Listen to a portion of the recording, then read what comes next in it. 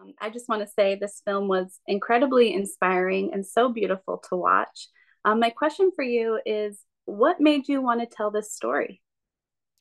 I love your background, by the way. Thank you. uh, I mean, Jose's story is just so moving, inspiring, exceptional, amazing by itself that I that I obviously wanted to to work around it, to be near that uh, whole feeling that it provoked uh, the first time I knew about it.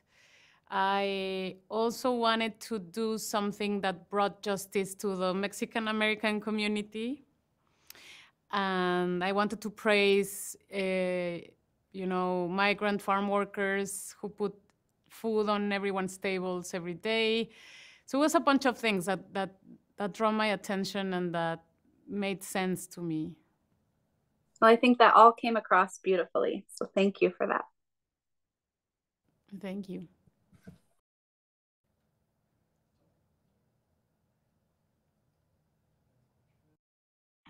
Hi, hola Alejandra. Uh, congratulations for the movie. I really love it. So it's a powerful movie for all the families, especially for the Mexicans. So tell me, uh, how was the process to select the name of the movie? The, I, when I actually came into the project, the film had its title, so I didn't, I didn't select it, but I, but I was it, I mean, it made total sense to me, so I wouldn't even fight the idea of having that title. I think it's perfect.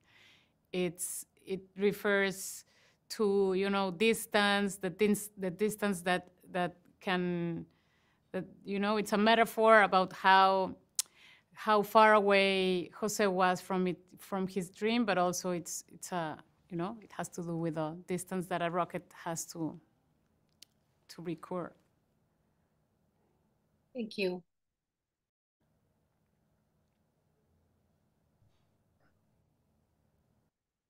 Oh yeah, hi. Um, it's nice to meet you. Um, I thought I was taking my son to like a astronaut movie because he loves space, but then it turned out to me to be like this beautiful love story. I'm bawling my eyes out. Um, family Mhm. love, romantic love, you know. And so I was wondering, like, is love an important theme to you?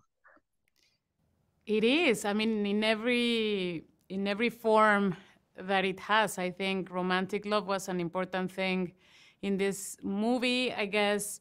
I mean, because love is important, but also because you don't get to see many love stories in the Mexican American world or in the depiction of that world. So, so to me, that was, you know, having those little details uh, about the, her family, him going, you know, the first date. So that was an important portrayal that I want to do. I loved it. I felt like I was there a little bit, and it yeah, Perfecto. Thank you. This is a compliment. Uh, hi, Alexandra. Um, um, Alejandra, excuse me. Um, soy un poquito nervioso. I'm a little nervous, uh, but I'm, I'm, I'm excited. Like I told Jose, I'm excited that this is coming out at the beginning of Hispanic, Hispanic Heritage Month. I think it's it's a great film for everybody to watch. Um, the one question that I did have is like when you had the script in front of you and you were planning out your your, your shooting days, what was the one scene that you were like really excited to shoot, but also wanted to make sure that you got it right for to be released or for people to watch? I'd say that most scenes in this film hit that case. I think everything was such a such a big challenge that I could say that about tens of scenes in the film. But maybe the T38 is the biggest. I think the T38 was a big one for me. Thank you. Gracias. De nada. Hi, Alejandra. Thank you for taking time to speak with us today. I was telling Jose I really loved the movie. It it was emotional, it was inspiring, it was just it was wonderful. I love the community feel, all of it. It was like uh, you know, you said it wasn't just a movie about astronauts, it was it was a movie about community.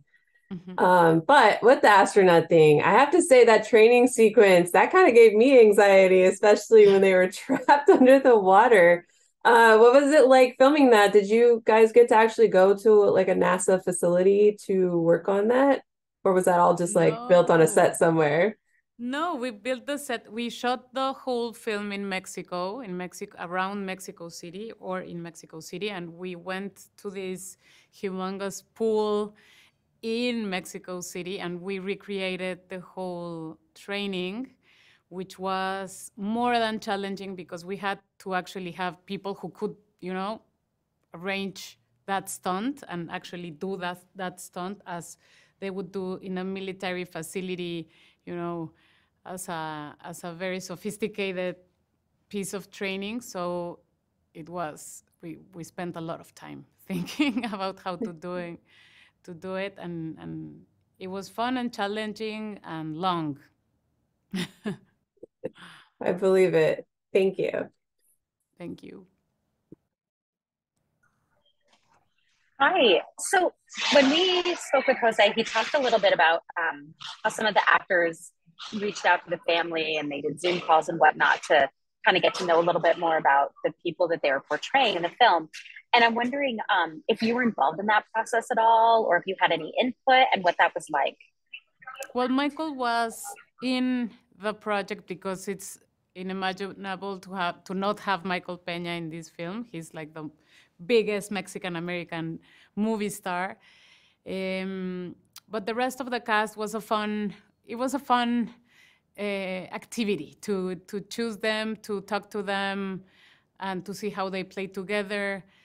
Uh, I think Rosa is just Rosa Salazar is just the most amazing actress in the world, and and she's all light. And when she comes into the film, she lights the film. Um, I think Julio Cesar Cedillo and Veronica Falcon, who play uh, Jose's father and mother, no, they're such such talents. Bobby Soto, I mean, I don't know. I was so lucky, and I feel so privileged because it's easy to do your job when you come to set and you know, everything is, ta-da, it's there.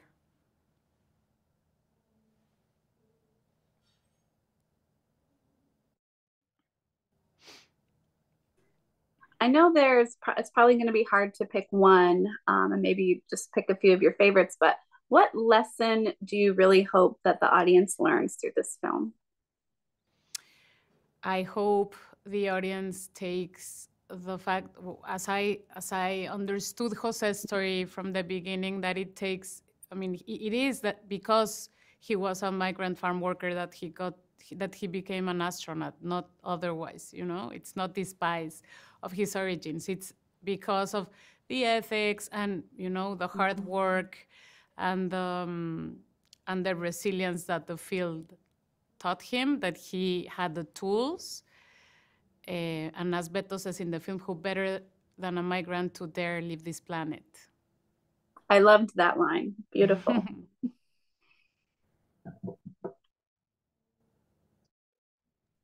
Hi again. So I really like the music. Um, did you speak with Jose regarding, hey, let's do the Tigres del Norte, let's do the Juan Gabriel. How was it? Because I really have a, a great time listening to music. I know it's like a karaoke playlist. I always think of it like it would be a very nice karaoke night. Uh, it, it, had to do. I mean, yeah, Jose had to do with it because he he played uh, Jose Alfredo Jimenez, El Hijo del Pueblo, as a wake up song when he was in the International Space Station. Every astronaut gets to pick one song, and that was the one he picked. So I I thought it should be on the film. But then uh, the Los Tigres del Norte was actually uh, a pick from Michael Peña, who said like that's my dad's favorite song, and I would love to sing that if that's possible. And uh, and and of course, I, I think it's important that that everyone brings something from their hearts to the film. And if Michael was happy with that, I was super happy with that. I mean, Los Tigres del Norte, amazing. And then, of course, Juan Gabriel and everything else was a, a, natural pick for the timing and the relevance it has in the community. Thank you. Gracias.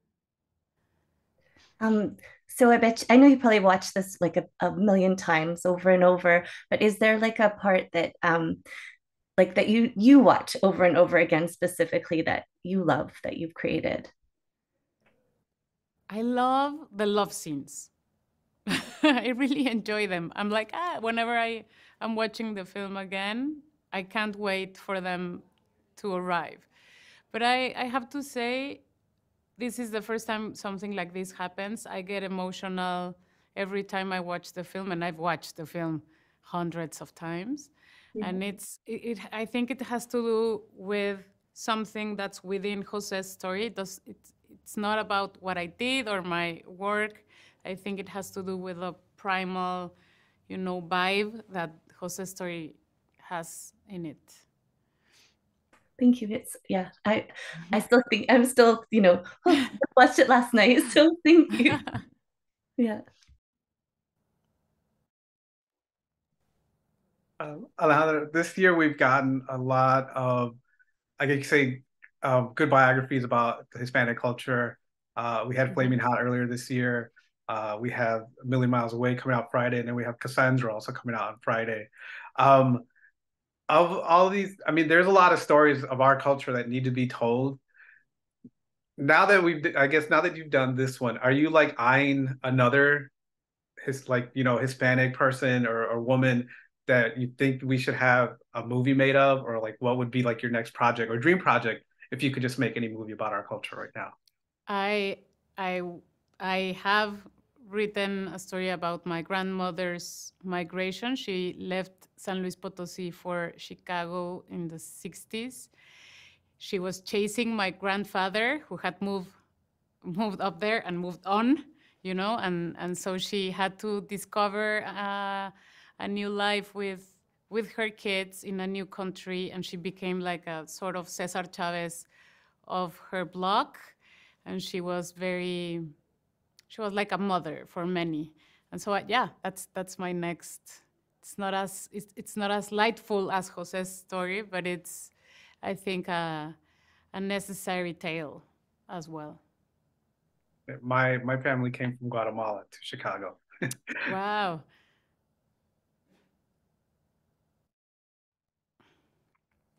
So Jose was talking about his cameo and how he it was something that he was so used to doing. It was just like, you know, riding a horse kind of thing or riding a bike. Uh-huh.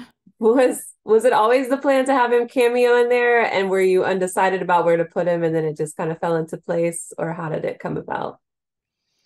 That that was it. Uh, I we knew he he had to be on the film somewhere and and we wanted to choose like the perfect uh, cameo for him because we wanted we wanted it to be symbolic, you know, and and honor him in a way. So it was a nice thing to have him as a closeout engineer.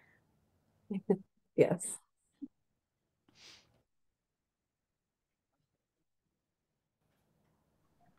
So obviously Jose is an astronaut. Michael has played an astronaut more than once before this. Um, how closely did you work with, or did you work with other NASA or technical advisors on sort of the accuracy of those types of behind the scene things, like with the trainings and you know shuttle launches and that type of thing? We worked very closely with NASA.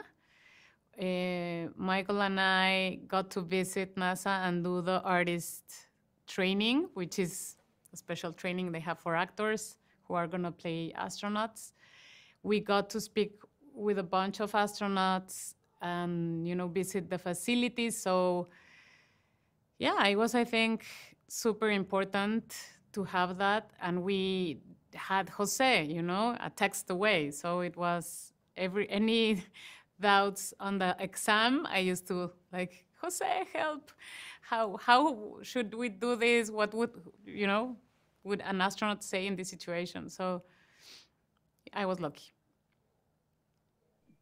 Thank you.